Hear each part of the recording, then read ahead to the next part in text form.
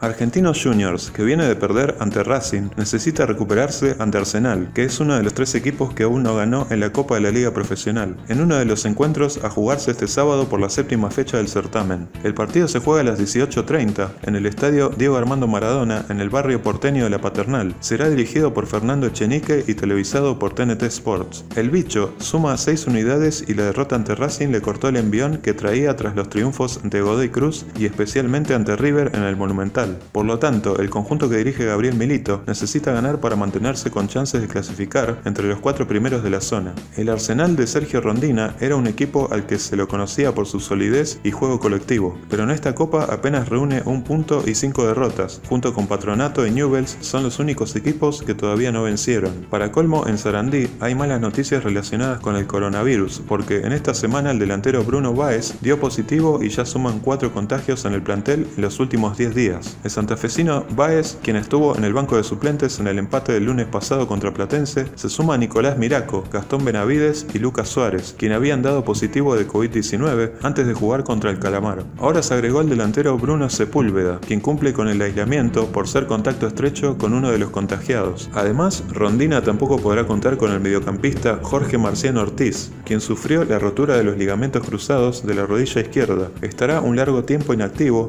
y podría ser reemplazado por Juan Andrada. Argentinos Juniors forma con Lucas Chávez, Pablo Minizale, Marco Di Cesare, Lucas Villalba, Jonathan Sandoval, Matías Romero, Franco Moyano y Elías Gómez, Javier Cabrera, Gabriel Ábalos y Gabriel Auche. Arsenal con Alejandro Medina, Julián Navas, Mateo Carabajal, Jonathan Botinelli y Emiliano Papa, Brian Farioli, Jesús Zoraire y Juan Andrada y Nicolás Castro, Alan Ruiz y Lucas Albertengo.